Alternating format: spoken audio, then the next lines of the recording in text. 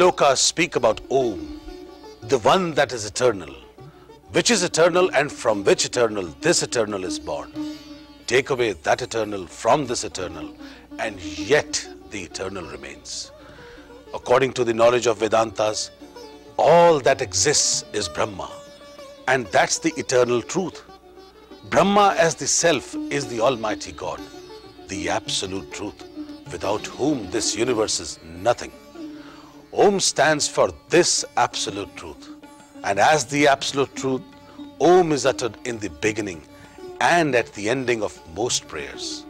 Friends, I would like to remind you again this is not an authority uh, point of view or we are not making a stand here. Hum seekh rahe hain and we you and i together are going to learn from both our experts. We will learn from experiences of people from more actions stories and reactions. The other part about gita is that it's very universal.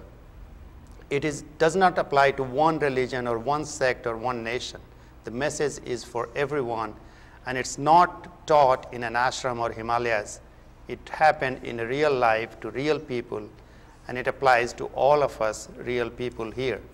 Dharma doesn't belong to one aspect of life or one uh, group of people.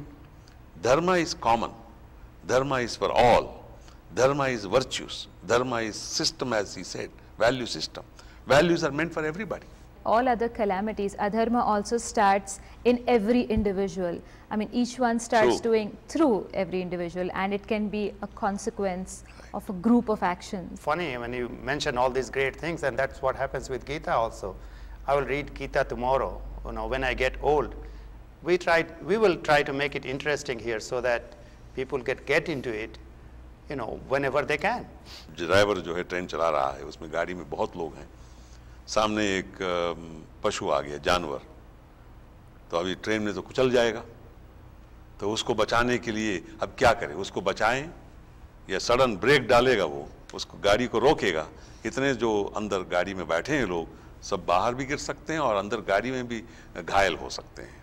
अब क्या किया जाए? उसका धर्म क्या है वहाँ? उसका वर्च्यू क्या होगा? वर्चुअस क्वालिटी क्या है? लोग क्या समझें? ये हमें सोचना पड़ेगा। धर्म की परिभाषा देते समय अधर्म के बारे में भी सोचना क्या अधर्म है ये I think doctor Jayaraman you made a very good point you know like we have three examples in our history one is आदर्श पुरुष that is Ram the other is नैतिक महापुरुष दैट इज़ गांधी एंड धार्मिक पुरुष धार्मिक पुरुष is different like Krishna और महावीर और बुद्ध एक झूठ बोलने से अगर किसी की जान बचती है इज़ दैट अच्छा। अधर्म और is that immoral It's not a question of adharm. These are trick questions, you know, wonderful questions. The example that Dr. Jayaraman said. क्योंकि मान लीजिए किसी की जान बचाने के लिए एक झूठ बोलना पड़े तो बोल सकते हैं क्या पब्लिक क्या सोचेगी हम अगर कहें बोल सकते हैं तो सब शुरू कर देंगे हम झूठ बोलेंगे नहीं ये नहीं है ये समय समय के ये छोटी सी बात है ये धर्म अधर्म के बीच में नहीं आता है ये उस समय हमें क्या करना है, ये सोच के हमको करना है। धर्म एक, ऐसा एक बहुत बड़ा व्यापक विषय है, जो हमारे जीवन के शाश्वत मूल्यों के साथ जुड़ा हुआ है। तो अभी कृष्ण, भगवान कृष्ण क्या कहेंगे अर्जुन को? मॉरल सिखाएँगे या धर्म सिखाएँगे? वो धर्म की रक्षा के लिए जो रास्ता है, वो बताएँगे। इतनी कारें, इतनी गाड़ियाँ, इतने लोग, ये लोगों की भीड़ कहाँ जा रही है? हर आदमी भागता, दौड़ता नज़र आ रहा है।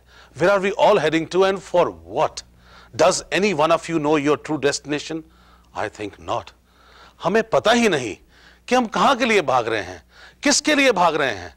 यह शोर, यह साउंड यह पोल्यूशन क्या यही हमारा जीवन है?